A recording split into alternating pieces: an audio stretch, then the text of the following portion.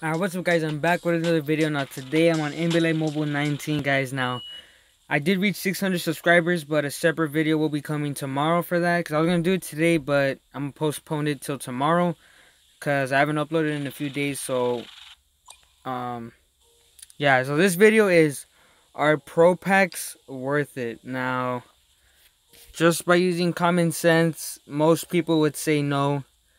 But, I'm here with the math to let you know the factual evidence of whether Pro Packs are actually worth it or not. So they did an update pretty recently where it's a 4% chance to get an 87 plus overall. So 4% chance. So if you open 25 Pro Packs, that is a 100% chance to get 87 plus by what by the information that they give you. So if you open 25 packs, you're gonna get an 87 plus, at least one. So right there automatically. So, but each pro pack is 7,500. So if you're gonna open 25 pro packs to get a 100% chance of an 87 plus, that's 187k. 187,500 coins right there to get 25 pro packs. And you can only open 5 a day, so yeah. So 187k for a 87 plus that most of them go for like 16k or 25k. Let's check. I'm pretty sure you can find some for like 16k. 87.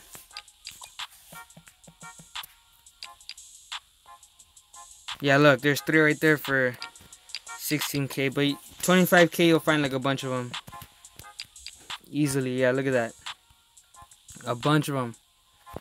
So, 187,000 coins for a guaranteed 87 plus that's gonna make you only 20 20k coins at most 25k at most.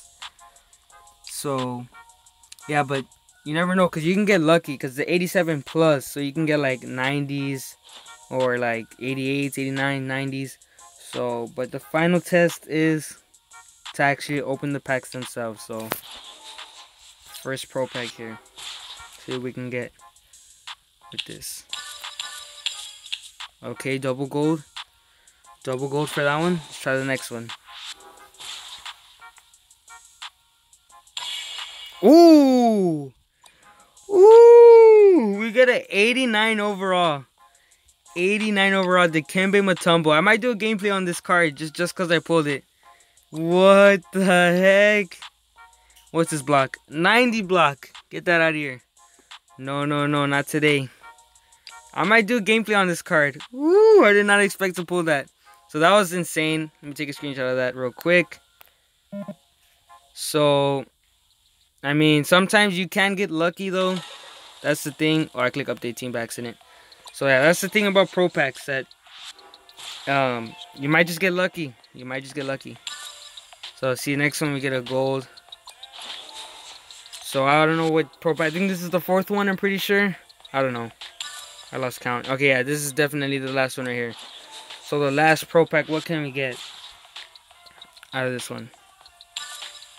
Alright, Larry Nance Jr. and a PJ Tucker. So, five Pro Packs, we get an 89 overall card. So, let's go ahead and check how much we wasted. Um. Alright, so we opened five Pro Packs. So, we wasted 37k. 37,500 coins for a card that goes for over 90,000 coins. So right there, we made profit. We made easy profit. So yeah, guys, we made e easy 50k profit right there just on those five pro packs alone. So that's insane. I did not expect to pull such a fire pull like that. I didn't expect to pull anything like that. That is an insane pull. I mean, for pro packs, because I've opened so many pro packs throughout the season.